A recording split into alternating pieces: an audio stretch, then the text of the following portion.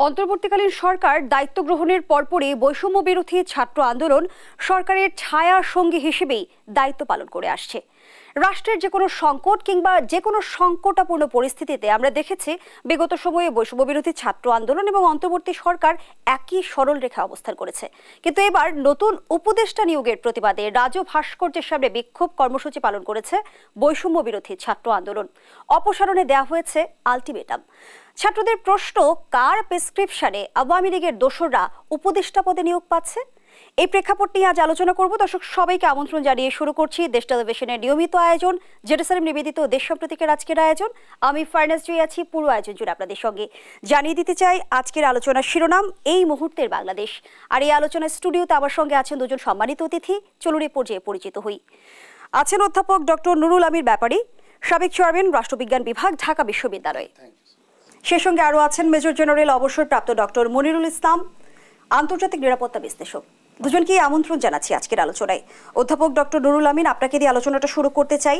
বলছিলাম, আমরা বিগত সময়ে যে কোনো সংকটাপূর্ণ পরিস্থিতিতে যেমনটি দেখেছি, অন্তর্বর্তী সরকার এবং বৈষম্য বিরোধী ছাত্র আন্দোলন একই সরল রেখে অবস্থান করেছে। কিন্তু এবার আমরা দেখলাম যে নতুন উপদেষ্টা নিয়োগের প্রতিবাদে বৈষম্য বিরোধী ছাত্র আন্দোলন প্রতিবাদ কর্মসূচি পালন করেছে এবং তারা সরকারকে আলটিমেটামও দিয়েছে। আসলে আপনি প্রশ্নটা যেভাবে করেছেন বিগত দিন বলতে জাস্ট প্রশ্নটা এমন মনে হচ্ছে যে অনেক দিন যাবত কিন্তু এটা আমি তিন মাসের কথাই তিন মাস যেটা তিন মাস একটা বেশি তত বেশি সময় না।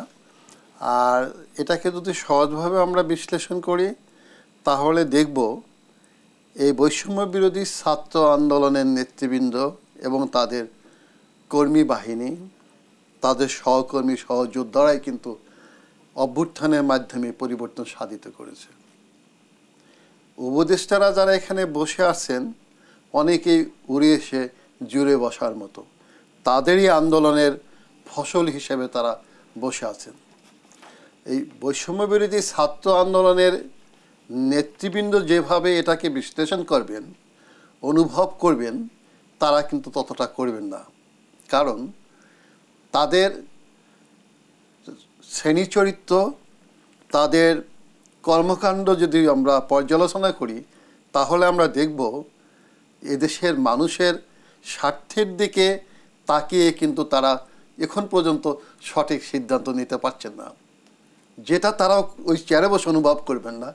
অনুভবটা কি করবেন? তাদের কর্মকাণ্ডের পরীক্ষা করবেন সাধারণত ছাত্র নেতারা, এদেশের জনতা। সেই দৃষ্টিকোণ থেকে তো আমি বলব আজকে যে স্ট্যান্ড ছাত্র নেতাদের বৈষম্য বিরোধী ছাত্র নেতৃবৃন্দের এবং তাদের সহযোদ্ধাদের, আমি বলব সেন্ট পার্সেন্ট সঠিক আছে। আপনি দেখেন, চিন্তা করুন, এই যে তিনজনকে নেওয়া হলো কালকে, তাদের এই- একটা, এই ধরনের পজিশনে দেওয়ার আগে ইন্টেলিজেন্স ব্রাঞ্চের তারা রিপোর্ট নেবে না। এনএসআই রিপোর্ট নেবে, তারা সিআইডি রিপোর্ট নেবে, তারা সেনাবাহিনী থেকে গোয়েন্দা সংস্থা তাদের রিপোর্ট নেবে। রিপোর্টের পরে তারা সিদ্ধান্ত করবে, এই রিপোর্টটা প্লেস করবে প্রধান উপদেষ্টার সামনে। তিনি তার সিদ্ধান্ত প্রণয়ন বডিতে দিবেন, তারপরে নেবেন। কোনো কণ্ঠবাসী যেন না হয়। কোন কণ্ঠবাসী? অর্থাৎ আন্দোলনের স্পিরিটের বিপক্ষে যেন না যায়। নিশ্চয় আপনার মনে আছে, আমরা যেমনটি দেখেছিলাম যে প্রধান উপদেষ্টা দায়িত্ব গ্রহণের পরপরই বলেছিল যে ছাত্ররাই আমাদের নিয়োগকর্তা। মাত্র তিন মাসের সময়ের ব্যবধানে এসে এখন আমরা দেখছি যে ছাত্ররা এবং সরকার মুখোমুখি অবস্থানে। কেন? তার কারণ হচ্ছে, এই আন্দোলনটি, যেটি আমি আগে আপনার এখানে বিভিন্ন জায়গায় টক শোতে বলছি, এই আন্দোলনটি একটা অভ্যুত্থান হয়েছে। অভ্যুত্থান এবং বিপ্লবের মাঝে অনেক পার্থক্য।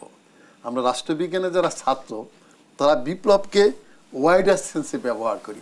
অভ্যুত্থান হঠাৎ করে কর্মসূচি ব্যতীত বিভিন্ন ক্ষোভকে কেন্দ্র করে হয়ে যায়। বিপ্লব যদি হতো, তাহলে কিন্তু একটি তত্ত্ব থাকতো থিওরি থাকতো, কর্মসূচি থাকতো, কীভাবে সাকসেসফুল হওয়ার পর ওই কর্মসূচিগুলোকে আমরা বাস্তবায়িত করব। এই আন্দোলনে কি এটা ছিল? ছিল না, কোটা বিরোধী আন্দোলনকে কেন্দ্র করে ওই যে পনেরো বছরে পুঞ্জীভূত ক্ষোভ, আপনার অত্যাচার অন্যায় অন্যায়, বিভিন্ন প্রতিশোধ নেওয়ার জন্য জনগণ উন্মুখ অবস্থায় ছিল যে কি? যে এইভাবে তো চলতে পারে না। একটা ফ্যাসিবাদী শাসন চেপে বসছিল তার ফলশ্রুতিতে বিভিন্ন জায়গা থেকে একত্রিত হয়েছে। রাষ্ট্রবিজ্ঞানের ভাষায় রাজনৈতিক দলগুলো সে বিভিন্ন শ্রেণির সমাজের মানুষের গ্রিভেন্সেসগুলোকে একত্রিত করে আর্টিকুলেট করে নিক্ষেপ করে দেয়। তারপর জনতা ওটাকে নিয়ে সামনে অগ্রসর হয়। এখানে কিন্তু এরা কোঠা বিরোধী আনছে, কিন্তু তাদের জনতার ক্ষোভ ছিল, ভোট দিতে পারি না, গুম, খুন, হত্যা অন্যায়, অবিচার, এটার প্রতিবাদ তারা নামছে। এবং তারই প্রতিফলন ঘটেছে আমরা দেখেছি যে পনেরো বছরের ফ্যাসিবাদী শাসন ব্যবস্থা বিলুপ্ত হলো। কিন্তু আমার প্রশ্ন হলো যে আমরা তিন মাস সময় পেরিয়েছি তারপরে আমরা রাজনৈতিক স্থিতিশীলতা কেন এখন পর্যন্ত দেখতে পাচ্ছি না এই ধরনের অভ্যুত্থানের পরে কিন্তু তিন মাসে হঠাৎ করে স্থিতিশীলতা আসে না। আর বিপ্লব যদি হতো না আরও অনেক দেরিতে স্থিতিশীলতা আসতো। আন্ডারস্ট্যান্ড কারণ আপনারা ধ্বংস থেকে আমরা ভয় পাই। কিন্তু যারা সৃষ্টিশীল রাজনীতি করে তারা কি বলে? ধ্বংসের মধ্যেই সৃষ্টি নিহত। আন্ডারস্ট্যান্ড এখন পর্যন্ত ওই দিকে তো যাই নাই আমরা। আমরা কি করতেছি? এই যারা এখানে চেয়ারে বসে আছে তারা তো আমি দেখি বিশ্লেষণ করলে দেখবেন দু একজন বাদে তো সবাই ওই পতিত যে যেই সরকার তারই স্বার্থ রক্ষা করেছে পনেরোটি বছর। আমি ধরবো ধরে ধরে বলব আপনাকে। আমি যদি দু একজনের কথা শুনি। দেখেন আপনি দেখেন এই তিনজনের মধ্যে ফারুকি সাহেবের যেটা প্রশ্ন তুলছে ফারুকি ফারুকি সাহেবকে নিয়ে। সে তো সুবিধাভোগী ছিল আওয়ামী লীগের। এটা তো সামনে তুলে নিয়ে আসছে ছাত্ররা। তারপর ওই যে আকিজ বিড়ি আকিজ বিড়ি আকিজ গ্রুপের বশির সাহেব মনে হয়, তার ভাই তিন, পরপর তিন টার্ম কি ছিলেন? পার্লামেন্ট মেম্বার ছিলেন আওয়ামী লীগের। উনি কি করেছেন? ওনার বিরুদ্ধে মার্ডার কেসে একজন আসামি। এবং উনি এই বৈষম্য বিরোধী ছাত্র আন্দোলনের বিপক্ষে দাঁড়িয়েছেন। একদম এই আন্দোলনী স্পিরিটের বিপক্ষে দাঁড়িয়েছেন। তাকে কীভাবে সমর্থন করা যায়? আর সেই প্রশ্নটি আমি নিয়ে যেতে চাই ডক্টর মনিরুল ইসলাম আপনার কাছে। বৈষম্য বিরোধী ছাত্র আন্দোলনের ছাত্ররাও কিন্তু একই প্রশ্ন রেখেছে কার প্রেসক্রিপশনে উপদেষ্টা পদে আওয়ামী দোসররা? তারা এও বলেছে যে সরকারকে আমরা এখন ওন করছি ডিজোন করতে কিন্তু আমাদের সময় লাগবে না। জি বিসমিল্লাহ রহমান রাহিম। প্রথমে আমি দেশ টিভিকে ধন্যবাদ জানাচ্ছি আমাকে আমন্ত্রণ জানানোর জন্য। প্রথমে আমি বলতে চাই যে আমি এই বৈষম্য বিরোধী ছাত্র আন্দোলনের অংশগ্রহণ অংশগ্রহণকারী ছাত্রছাত্রীদের অ্যাক্টিভিটিসে আমি খুবই ইমপ্রেসড আমি এই জেনারেশন নিয়ে খুবই হতাশ ছিলাম। ডিভাইস ছাড়া তারা কিছু বোঝে না। তারা এত বড় একটা আন্দোলনে নেতৃত্ব দিবে, এত বড় একটা আন্দোলন যেখানে কোনো নেতৃত্ব ছিল না, সুনির্দিষ্ট যোগাযোগ ব্যবস্থা ছিল না, তারপরেও তারা সফল হয়েছে।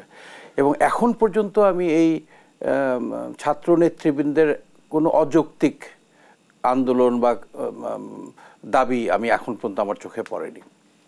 বাট আমরা বাংলাদেশিরা খুবই ধৈর্যহীন। আমরা পনেরো বছরের অনিয়ম, দুঃশাসন, আমরা তিন মাসে একেবারে হান্ড্রেড পার্সেন্ট পারফেক্ট একটা দেশ চাচ্ছি, যেটা কোনোভাবেই সম্ভব না। আমার মতে doctor Mohammad Yunus is the best choice ওনার থেকে আর যোগ্য ব্যক্তি আমি দ্বিতীয় কাউকে খুঁজে পাই না। এবং he is open to criticism আমরা চাই ছাত্ররা রাস্তায় থাকুক এবং উনি বলেছে যে হ্যাঁ ক্রিটিসাইজ করো, আমাকে বলো দেন না আমরা শুধরাবো। এখন ছাত্ররা একটা বিষয় নিয়ে তারা পছন্দ করে নাই, তারা আবার দাবি করেছে let see how the government reacts এই দেশটা পনেরো বছর যে সরকার চালিয়েছে, আপনি তেমন কাউকে পাবেন না যারা একভাবে না আরেকভাবে দোষর ছিল, খুবই হাতে গোনা। To survive in this hostile environment কোনো না কোনোভাবে সাপোর্ট করতে হয়েছে গত সরকারকে। ওর মধ্য থেকে আমরা দেশপ্রেমিক সৎ ব্যক্তিত্বকে চাই এই দেশটাকে লিড করার জন্য। আমি স্পেসিফিক এই তিনজন কাকে দিয়েছে কি করেছে এটা ব্যাপারে আমি বলতে চাই না।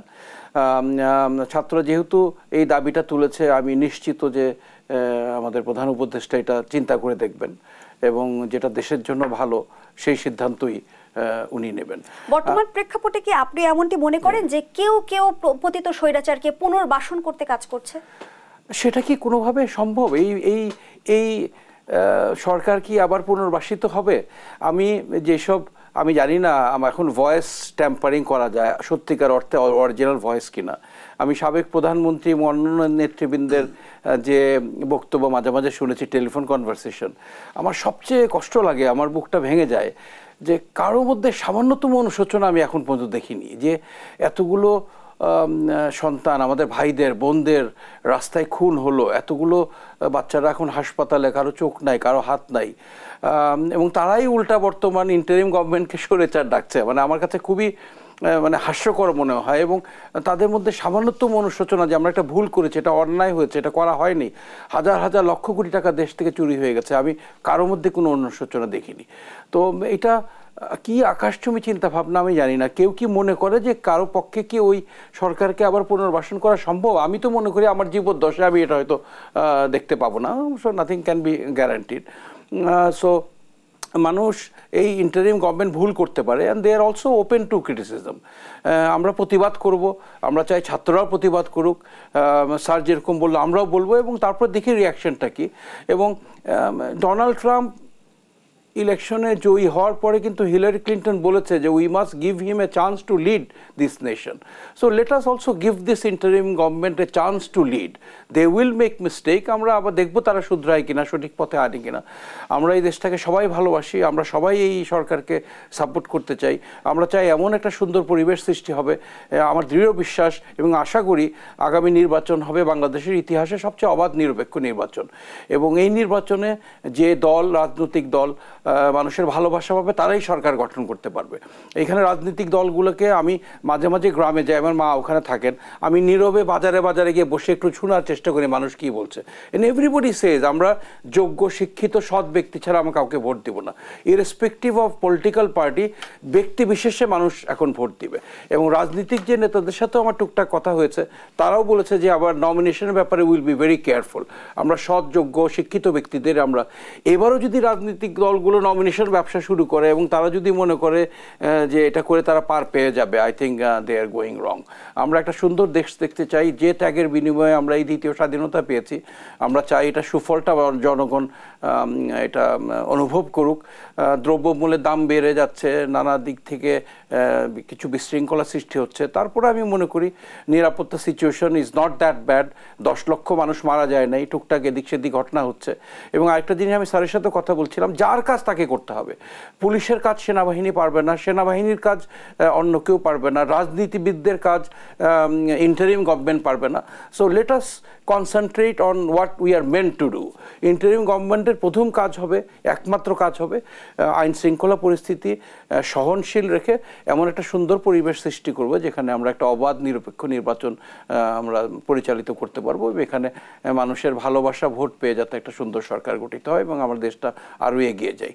প্রত্যেকটা পলিটিক্যাল পার্টির উদ্দেশ্য হবে দেশ করা। এবং এক পলিটিক্যাল পার্টি গভর্নমেন্টে কিছু কাজ করে যাবে আরেক পলিটিক্যাল পার্টি আসবে তারাও কিছু কাজ করবে। It's a building block the nation is build by everybody it is not build by on one political party so আমাদেরকে সেটা মনে রেখেই আমাদেরকে সামনের দিকে এগিয়ে যেতে হবে আমি অন্তর্বর্তীকালীন সরকার মানে আমরা যেমনটি দেখেছি যে ক্ষমতায় আসার পরপরই নানামুখী ষড়যন্ত্রের কথা শোনা গেছে। কখনো আমরা সেক্রেটারিয়েট কুয়ের কথা শুনেছি কখনো অ্যাডমিনিস্ট্রেটিভ কুয়ের কথা শুনেছি। এবং বিভিন্ন সংকটাপূর্ণ পরিস্থিতিতে কিন্তু বৈষম্য বিরোধী ছাত্র আন্দোলন সরকারের এক ধরনের ঢাল হয়ে দেখা দিয়েছে। সেই জায়গা থেকে আমরা দেখেছি বৈষম্য বিরোধী ছাত্র আন্দোলনের দাবির পরিপ্রেক্ষিতে ছাত্রলীগকে নিষিদ্ধ করেছে সরকার এবং রাষ্ট্রপতির অপসারণ জাতীয় পার্টি নিষিদ্ধ এবং সংবিধান সংস্কারের বিষয়েও শোনা যাচ্ছে যে অনেকটা একই মনোভাব পোষণ করে বৈষম্য বিরোধী ছাত্র আন্দোলন এবং অন্তর্বর্তী সরকার। এই প্রথম আমরা দেখছি যে কোনো একটি ইস্যুতে সরকার এবং বৈষম্য বিরোধী ছাত্র আন্দোলন মুখোমুখি অবস্থানে। এই বিরোধের আসলে ফলাফলটা কি হতে পারে সামনের দিনে আরও সংকটাপূর্ণ পরিস্থিতি আমাদের জন্য প্রতীক্ষা করছে কিনা? আমি প্রশ্নটি আপনার কাছে রাখছি, একটা বিরতির সময় হয়েছে। দর্শক জেনেসারের নিবেদিত দেশপ্রতীকের রিপোর্ট যে একটা বিরতি নিচ্ছি। সাথেই থাকুন।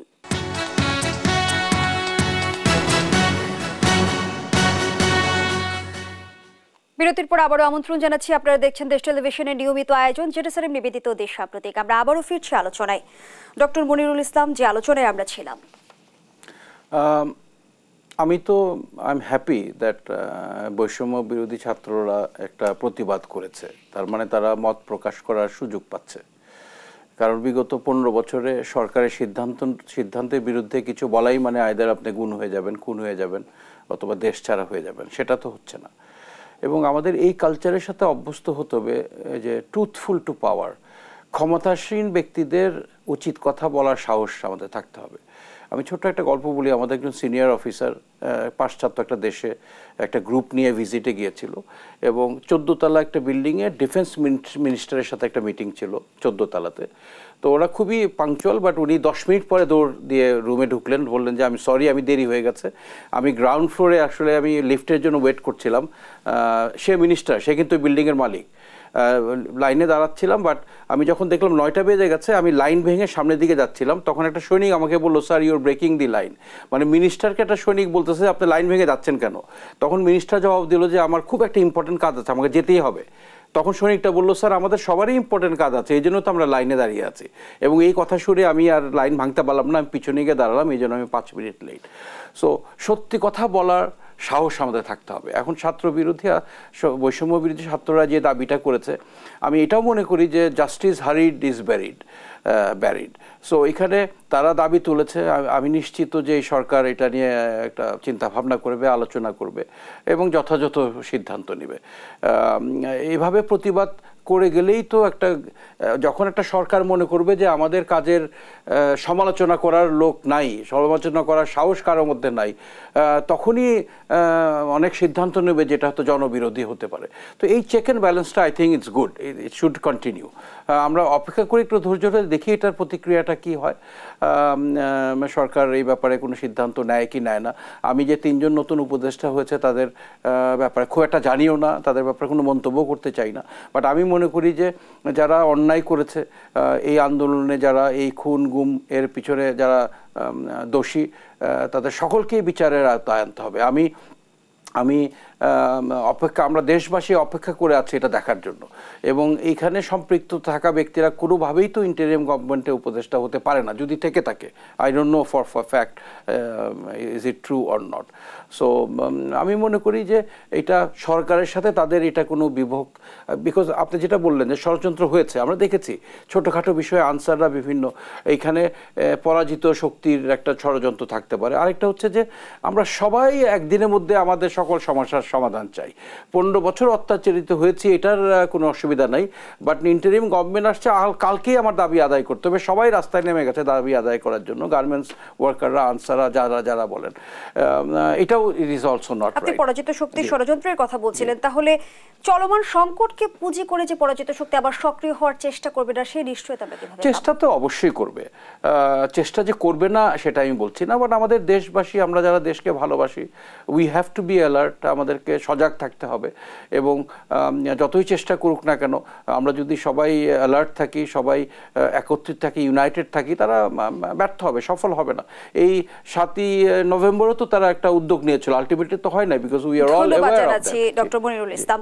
অধ্যাপক ডক্টর নুরুল আবিন যেমনটি আমরা দেখেছিলাম যে গতকাল জিরো পয়েন্টে ঘেসতেই পারেনি আবু আওয়ামী লীগ। সেই জায়গা থেকে জিরো পয়েন্টে জিরো পারফরমেন্সকে কীভাবে দেখছেন আবু আওয়ামী লীগের?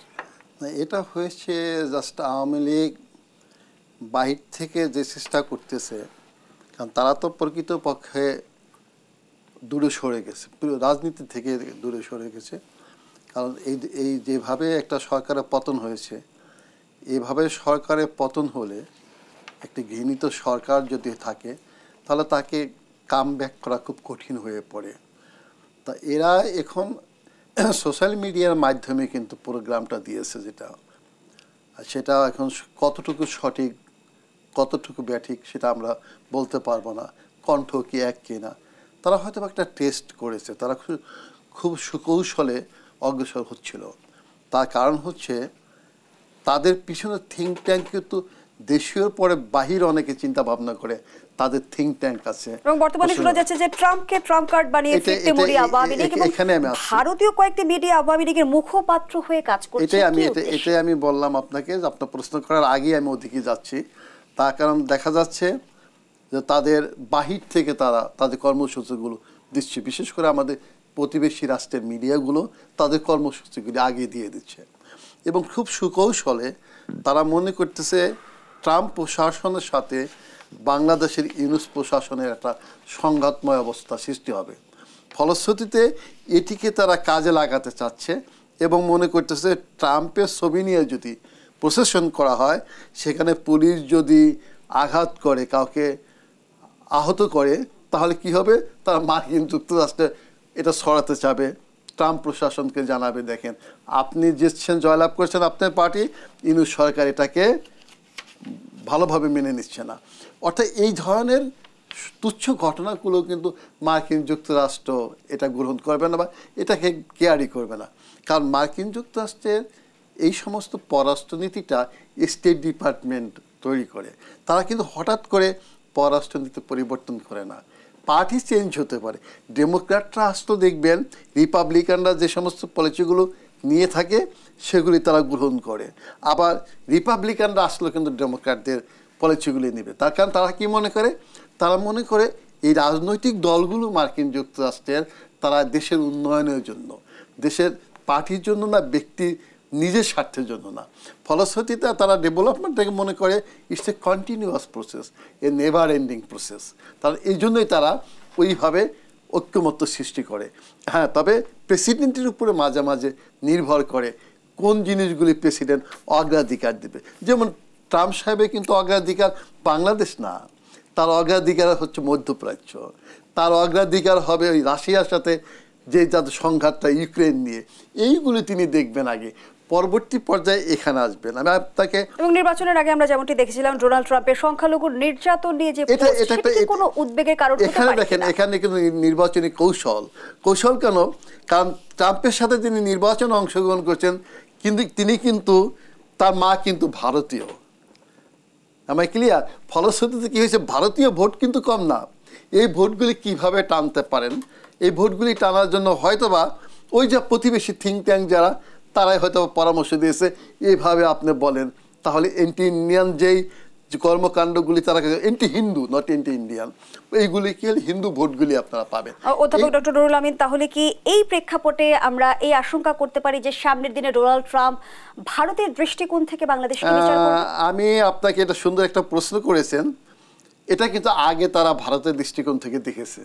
বিগত সময় আমরা তারা আমি এটা আর আপনার এখন আমি বলছি নটবর সিং যখন ভারতের পররাষ্ট্রমন্ত্রী, কন্ডালিসা রাইস তখন মার্কিন যুক্তরাষ্ট্রের পররাষ্ট্রমন্ত্রী। উনি ওই সময় ভারতে একটি সফরে এসেছিলেন। এসে নটবর সিংকে বললেন নটবর এখন থেকে তোমরা বাংলাদেশকে দেখবা। আর আমাদের মাঝে মাঝে আমাদের কনসেন্ট নিবা। কিন্তু ইন্ডিয়া কি করেছে? ইন্ডিয়া বাংলাদেশকে নিজের চোখ দেখেছে।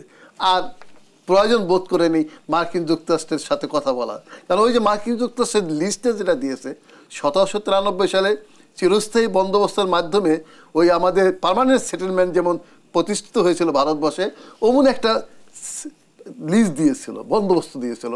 কিন্তু ওটা কখন তারা কী হলো, সরে গেল? আফগানিস্তান থেকে যখন তারা সরে গেল, সরে যেতে বাধ্য হলো এবং ডেমোক্র্যাটরা এসে কী করল? এই অঞ্চলটাকে গুরুত্ব দিল গণতন্ত্র প্রতিষ্ঠার দিক দিয়ে। ওই গণতন্ত্র প্রতিষ্ঠা করার জন্য ডেমোক্রেটিক যেই যেই আপনার কনফারেন্সটা হলো, পৃথিবীর বিভিন্ন দেশের রাষ্ট্রনায়কদের নিয়ে, ওইখান থেকে আমরা দেখব বাংলাদেশকে তারা অন্য চোখে দেখা শুরু করল। স্পষ্টভাবে বলল যে এখন থেকে বাংলা চোখে, বাংলাদেশকে আমরা নিজের চোখ দিয়ে দেখব, অন্যের কারও চোখ দিয়ে দেখব না। অর্থাৎ প্রতিবেশী ভারতের চোখ দিয়ে দেখবে না।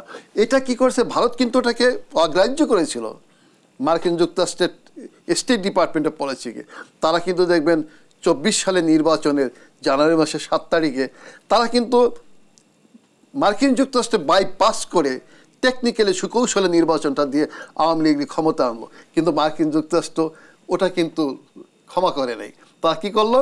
খুব সুকৌশলে, তার চেয়ে বড় কৌশল। ইন্ডিয়ার চেয়ে তো বিশাল কৌশলে খেলে মার্কিন যুক্তরাষ্ট্রের স্টেট ডিপার্টমেন্ট সিএ এর খেলা।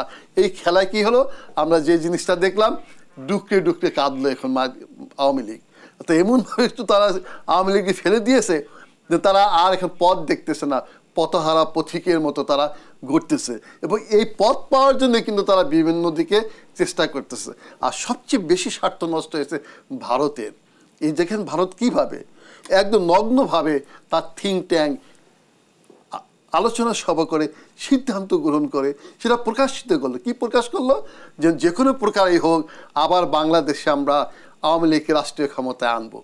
ওই যে, ওই প্রক্রিয়ায় তারা এখন বিভিন্ন পলিসি গ্রহণ করেছে। কারণ আওয়ামী লীগের থিঙ্ক ট্যাঙ্কের চেয়ে তো হাজার গুণে শক্তিশালী হচ্ছে ভারতীয় থিঙ্ক ট্যাঙ্ক বিজেপির থিঙ্ক ট্যাঙ্ক তারা ওখানে সিদ্ধান্ত প্রণয়ন বডিতে আছে। বিশেষ করে তাদের সাউথ ব্লক, র, এরা বিভিন্নভাবে পলিসি গ্রহণ করে, আবার একটা সক্ষতা সৃষ্টি করতে চাবে। কার সাথে ওই ট্রাম্প প্রশাসনের সাথে, আর ওটাকে তারা ইউজ করতে চাবে ইনুস সাহেবের বিপক্ষে। কিন্তু ইনুস সাহেবও কিন্তু কম খেলোয়াড় না। কারণ ইউনুস হচ্ছে মাইক্রো পুঁজি, মাইক্রো ক্যাপিটালের সাথে macro ক্যাপিটালের relationship it's a harmonious relationship not antagonistic relationship কারণ এক দেশের পুঁজির সাথে অন্য দেশের পুঁজিপতির সম্পর্ক হবে বন্ধুত্বপূর্ণ। অর্থাৎ মার্কিন যুক্তরাষ্ট্রে তার স্বার্থেই ইউনুস তত খেপাবে না। কারণ ইউনুস তার প্রয়োজন হবে। তার এই প্রতিনিধি, এ যদি নষ্ট হয়ে যায়, ভবিষ্যতে মার্কিন যুক্তরাষ্ট্র অবস্থা কী হবে? আর একটু সংক্ষিপ্ত আকারে আমি আপনাকে বলে দিচ্ছি মার্কিন যুক্তরাষ্ট্র উন্নতশীল দেশগুলোকে এই সমস্ত দেশগুলিকে তাদের রিপ্রেজেন্টেটিভ দিয়ে চালায়।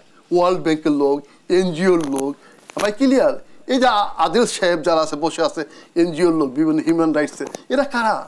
এরা তো মার্কিন যুক্তরাষ্ট্রের, এরা তো ডেমোক্র্যাট রিপাবলিকানের না।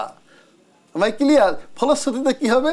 অর্থাৎ ইউনুস সাহেবের সরকারে যারা বসে আছে, তারা তো মার্কিন যুক্তরাষ্ট্রের ইন্টারেস্ট সার্ভ বেশি করবে। সুতরাং তাদের আমার মনে হয় না অত দূরে সরিয়ে দেবে। পতিত স্বৈরাচারের ষড়যন্ত্রের কথা বারবারই শোনা যাচ্ছে। শোনা যাচ্ছে ডক্টর ইউনুস সহ বাষট্টি জনের বিরুদ্ধে আন্তর্জাতিক আদালতে অভিযোগ দায়ের করা হয়েছে। অভিযোগ হিসেবে বলা হয়েছে গণহত্যা ও সহিংসতার অভিযোগ। এই প্রসঙ্গে আইন উপদেষ্টা জানিয়েছে হাসিনাকে ধরতে রেড নোটিশ জারি হচ্ছে। এবার কি তবে বিচারের মুখোমুখি হবে পতিত স্বৈরাচার? প্রশ্নটি থাকছে আপনার কাছে। আবারও বিরতির সময় হয়েছে। দর্শক জেরুসালের বিবেদিত দেশপ্রতীকের রিপোর্ট যে আবারও বিরতিতে যাচ্ছি সাথেই থাকুন।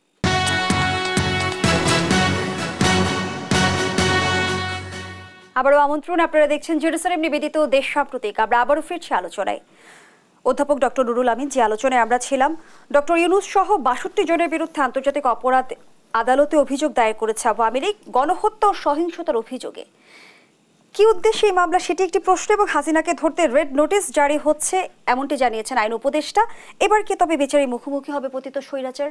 সে বিষয়টিও একটা জিনিস দেখেন পনেরোটি বছর তারা গুম, খুন, যেভাবে অত্যাচার করেছে, আয়না ঘর তারা তৈরি করেছে। র্যাবের মাধ্যমে আমরা দেখব যেভাবে হত্যা করেছে। সবচেয়ে আপনি দেখেন এগুলি যদি বাদ দিয়ে শেষে জুলাই মাসের পনেরো তারিখ থেকে শুরু করে আগস্টের পাঁচ তারিখ পর্যন্ত যেভাবে প্রায় দু হাজার মানুষ হত্যা করেছে। স্নাইপার দিয়ে আকাশ থেকে যেভাবে তিন চার বছরের শিশুকে হত্যা করেছে। অনেকে দেখবেন কয়েক হাজার মানুষের চোখ নষ্ট করেছে। এখনও কাঁদতাচ্ছে হাসপাতালে আহত অবস্থায় মানুষগুলো। সেই অত্যাচারিত পতিত পার্টি তারা অন্য পক্ষে পক্ষান্তরে কি করতেছেন? ইনুস সাহেব সহ তাদের যারা ক্ষমতা সেনা অবস্থায় আছেন, তাদের বিপক্ষটা আন্দোলনরত যারা ছিলেন তাদের বিপক্ষে একটা মামলা দায়ের করেছে। অর্থাৎ এই মামলা কি তাহলে ওইটাকে কাউন্টার করার জন্য? দায়ের করেছে তারা যে অপরাধ করেছে, সেই অপরাধকে ঢাকার জন্য কি তারা এই মামলাটা দায়ের করেছেন? কিন্তু আমার যেটুকু মন যেটু মনে হয় যা ইনুস সাহেবের কিছুই হবে না, কারণ এরা তো এই ধরনের অত্যাচারের সাথে জড়িত ছিল না। বরঞ্চ আপনার কারা ফেসে যাবে ফেসে যাবে বিশেষ করে আওয়ামী লীগ বিগত দিনে আওয়ামী লীগ সরকার, সরকারের কর্মকাণ্ডের যে ফলশ্রুতি, যে যে ঘটনা ঘটছে, এরাই আমরা দেখব ফেসে যাবে। কারণ এদের বিপক্ষে খুব সহজভাবে আমি উত্তরটা দিয়ে দিচ্ছি। ওই যে হিউম্যান রাইটস অ্যাসোসিয়েশন সহ বিভিন্ন সংগঠনগুলো সারা পৃথিবীর তারা কিন্তু শেষের চার, পাঁচটা বছর শুধু তাদের অত্যাচার, অন্যায়, গুম, খুন তুলে ধরছে। তারাই বারবার বলছে তোমরা এই এর বিচার চাও, তারাও বিচার চেয়েছে। এটা কিন্তু ইউনুস সরকারের বিচারটা চাওয়া না। এটা পশ্চিমা দেশগুলোর হিউম্যান রাইটস অ্যাসোসিয়েশনগুলো চেয়েছে এবং আমরা দেখব মার্কিন যুক্তরাষ্ট্রের সিনেটর যারা কংগ্রেসম্যান যারা এবং রিপাবলিকান কংগ্রেসম্যানরা কিন্তু বিচার চেয়েছে। কার বিচার চেয়েছে? আওয়ামী লীগ সরকারে হাসিনা সরকারে বিচার চেয়েছে। এবং ইন্টারন্যাশনাল ক্রিমিনাল কোর্টে যেন বিচারটা হয় তার জন্য কিন্তু তারা নিজেরা মানে প্রশ্ন হচ্ছে হাসিনাকে ধরতে রেড নোটিশ জারি হচ্ছে ভারতের প্রতিক্রিয়া কি হবে? ভারত কিন্তু এই যে লটা এখানে কিন্তু ওয়ান অফ দ্য সিগনেটরিজ আমাই ক্লিয়ার অর্থাৎ তার তার ওইখানে যদি বাংলাদেশের কোনো ক্রিমিনাল বাংলাদেশের সরকারের দৃষ্টিতে, কোর্টের দৃষ্টিতে কোনো ক্রিমিনাল যদি থাকে, তাহলে বাংলাদেশ যদি ওই ক্রিমিনালকে পাঠাতে বলে বাংলাদেশকে, বাংলাদেশে ভারত থেকে, তিনি কিন্তু বাধ্য থাকিবেন। যদি তিনি না পাঠান, ভারত যদি না পাঠায়, মার্কিন যুক্তরাষ্ট্র সহ ইউনো সহ, বিভিন্ন সংস্থাগুলো কি করবে তখন? প্রেশার আইস করবে। এই জন্যই আমরা দেখব, ভারতের প্রধানমন্ত্রী নরেন্দ্র মোদী মহাশয় কি করেছিলেন? প্রধানমন্ত্রী শেখ হাসিনা, ওয়াজেদকে বিদেশে মধ্যপ্রাচ্যে পাঠানোর চেষ্টা করেছিলেন। অথবা অন্যান্য দেশ দেশে চেষ্টা করেছিলেন কি, যে তুমি একটু ওই সমস্ত দেশে চলে যাও। উনি যেতেও চেয়েছিলেন, আমরা যেটি পেপারের মাধ্যমে দেখেছি, কিন্তু ওই দেশগুলো তাকে গ্রহণ করতে রাজি হয় নাই। কারণ কী জন্য? ওই যে রেড অ্যালার্ট যেটা এখন আমরা দেখব জারি করা হবে, এই জারিটা তাদের কাঁধে গিয়ে পড়তো। তারা কিন্তু দূরে সরে গিয়েছে। আমার মনে হয়, ইন্টারন্যাশনাল ক্রিমিনাল কোর্টের যদি একবার আরও এই মামলাটি চালু হয়ে যায় জীব- জীব- জীবনটা পেয়ে যায় তাহলে আমার মনে হয় বাধ্য থাকিবেন ওই আইনকে ধন্যবাদ জানাচ্ছি আপনাকে। ডক্টর মনিরুল ইসলাম ভারত কি আসলে শেখ হাসিনাকে হস্তান্তর করবে কিনা? এটা একটা কঠিন প্রশ্ন। বাট এই প্রশ্নের জবাব দেওয়ার আগে আমি একটু মার্কিন যুক্তরাষ্ট্র বা ডোনাল্ড ট্রাম্পের সাথে প্রধানমন্ত্রী মোদীর সম্পর্ক নিয়ে আমি একটু কথা বলতে চাই। ডোনাল্ড ট্রাম্প ইলেকশনের আগে একটা টুইট করেছিল। এটা সম্পূর্ণ স্যার যেটা বললেন, এটা ইলেকশন একটা strategy US politics economy media is control by Jews ইহুদিরা, এবং তারপরের মোস্ট ইনফ্লুয়েন্সিয়াল গ্রুপ হচ্ছে ইন্ডিয়ানস এখনই ইউএসের পঞ্চাশটা স্টেটের মধ্যে দুইটা স্টেটের গভর্নর ইন্ডিয়ান ব্যাকগ্রাউন্ড কামালা হ্যারিসের মা ছিল ইন্ডিয়ান এবং ডোনাল্ড ট্রাম্পের নাকি সিআইএ প্রধান করবে একজন ইন্ডিয়ান ক্যাশ নামে একজন। একজন ভদ্রলোক। সো এই ভোটগুলোকে নিশ্চিত করার জন্যই উনি টুইট করেছেন। আমার ধারণা ডোনাল্ড ট্রাম্প বাংলাদেশ চেনে কিনা এটা আমার সন্দেহ আছে। যদিও বাংলাদেশটা গুরুত্বপূর্ণ দেশ বাট আমাদের উপমহাদেশে আমাদের থেকেও আমাদের এই রিজনে আমাদের থেকেও আরও বেশি গুরুত্বপূর্ণ দেশ কিন্তু আমরা যেমনটি দেখলাম যে ট্রাম্পের জয়ে শেখ হাসিনার ফেরার পথ প্রশস্ত দেখছে আমি এটা বলছি।